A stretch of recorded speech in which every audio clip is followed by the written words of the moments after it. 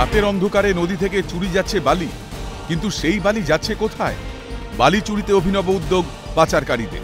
ঘুঘুঝরা গ্রাম রয়েছে সেই ঘুঘুঝরা গ্রামেই কিন্তু দাঁড়িয়ে রয়েছে। ঠিক ঠিক এই জায়গাতেই দেখা গিয়েছে যে বালি মাফিয়ারা বালির স্তূপ তৈরি করে সেখান থেকেই এই রাতের অন্ধকারে ডাম্পার বোঝাই করে ভিন রাজ্যে কিন্তু পাড়ি দিচ্ছেন। ফাঁসি দেওয়ার বিধাননগরের ঘুঘুঝরা গ্রামের রাস্তার পাশেই নাকি অবৈধভাবে তৈরি করা হয়েছে বালির ড্যাম। চেঙ্গা ও মহানন্দা নদী থেকে ট্রাক্টরে করে বালি এনে ফেলা হচ্ছে সেখানেই। শিলিগুড়ি মহকুমার ফাঁসি দেওয়া বিধাননগর এক ও দু নম্বর গ্রাম পঞ্চায়েতের বেশ কিছু গ্রামে দীর্ঘদিন ধরে চলছে এই কাণ্ড। অতিষ্ঠ গোটা গ্রাম। হ্যাঁ রাত্রেবেলা রোডে রাত্রেবেলা রোডে এখান থেকে এই জিসিবি আনি। জেসিবি? হ্যাঁ। কি আনে? জিসিবি। হুম।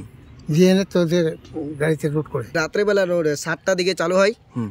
দশ এগারো বারোটা তো চলে। চলে। যে মেম্বার আর যে মহিক বলছে মেম্বারের সাথে থাকে এরাই এই ড্যামটা খুলেছে। কে আবার কে কে দা আছে? আমার জানি খালি ফাগু। আর ইয়া আস- আছে। ওইখানে ট্রেক্টরলা যার আছে ও আর ফরজন। হুম। ও ওই ধরে ফেলে। আর আর সুলতানের ওর ভাইলা। কি করে এখানে?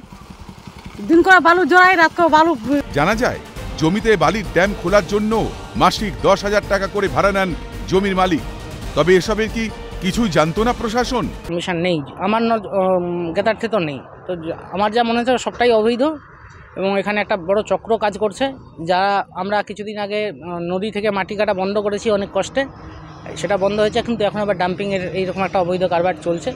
সেই ব্যাপারটা তবে এই বালি পাচারের পেছনে পরোক্ষ মদত কার বা কাদের? স্থানীয় শাসক দলের প্রশ্রয় ছাড়া এই কাজ সম্ভব? ফাঁসি দেওয়া থেকে পিকাই ঘোষের রিপোর্ট ক্যালকাটা নিউজ।